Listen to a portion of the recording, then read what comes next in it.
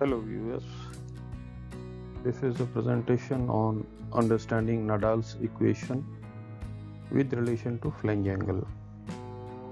अभी रिसेंटली कुछ एक ड्रिलमेंट्स में नाडल इक्वेशन का ज़िक्र आया था। तो नाडल इक्वेशन को हम फ़ील्ड में कैसे अप्लाई करेंगे?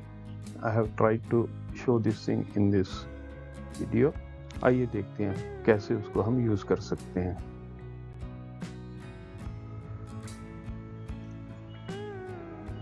So this is Nadal's equation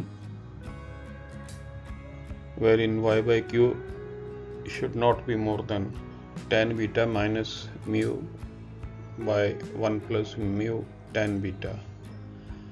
So mu being coefficient of friction for dry rail it's 0.33 for wet rail it's 0.25 and uh, lubricated rail its value is taken as 0.13 for rusted rail it's generally high and we take it 0.6 or even higher.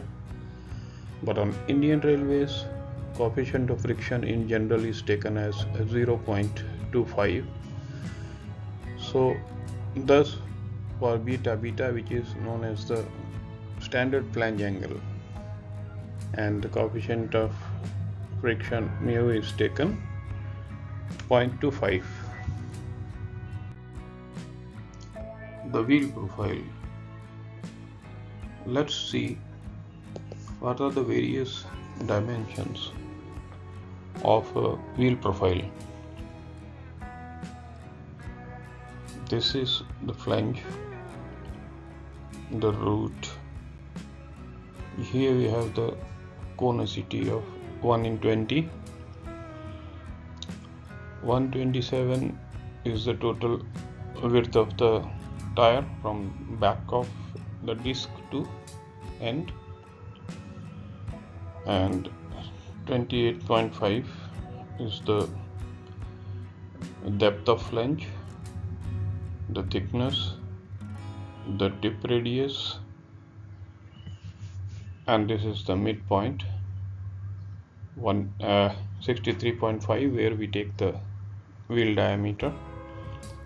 And this is the flange angle. So with the wear of flange this flange angle keeps on increasing from 68 to say 70 then 75 and likewise. In this figure we see the various forces at the point of rail wheel contact the vertical Q the load on the wheel set. This is the lateral force Y coefficient of friction force acting in this direction reactionary force and the flange angle beta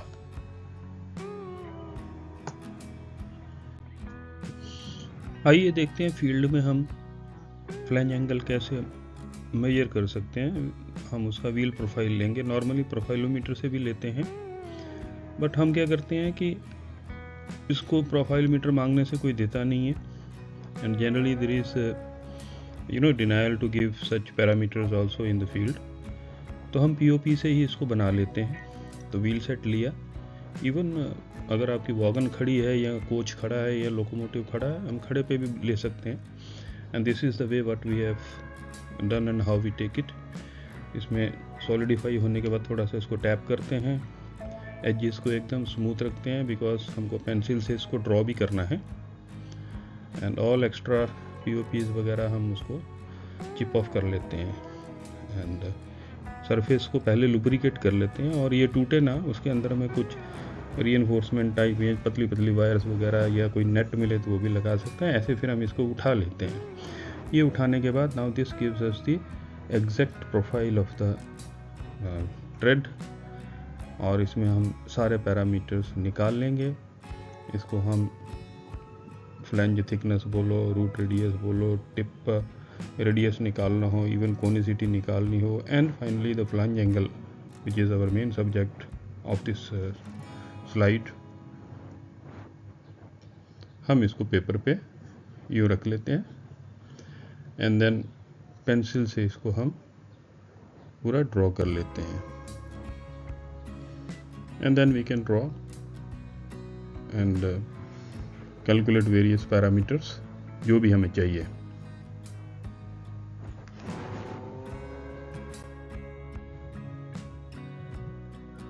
तो मान लो ये हमारा profile आ गया।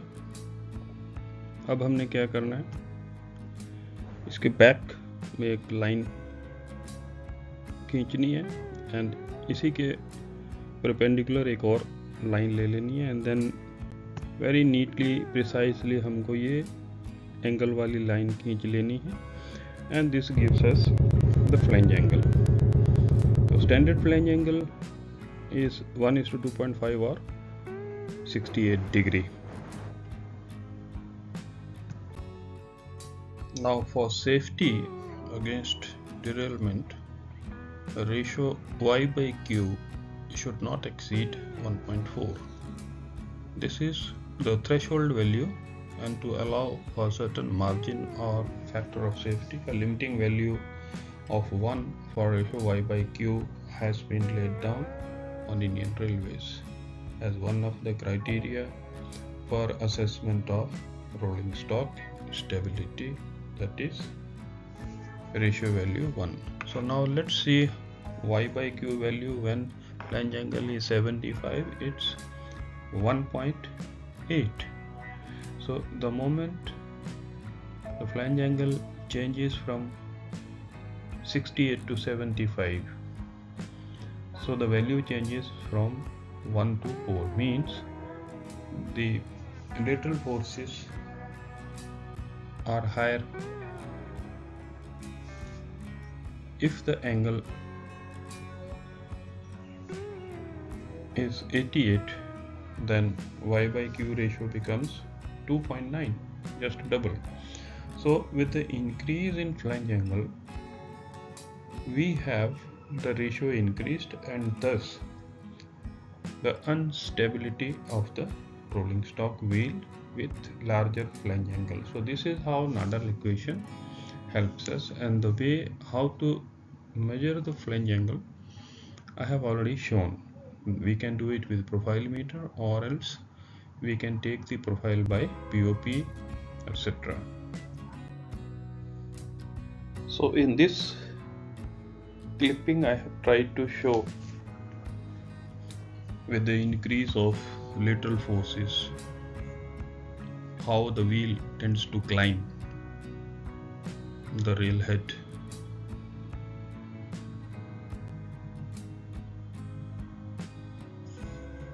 So when y by q forces increase more than 1 so these are the lateral forces. The wheel tends to climb up and mount. Yeah it is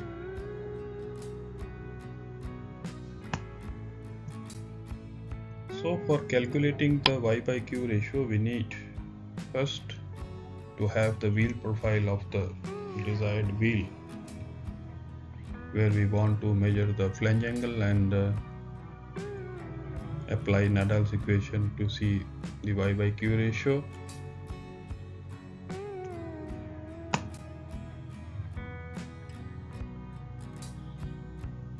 we need a profilometer or POP or lead strips to take the wheel profile.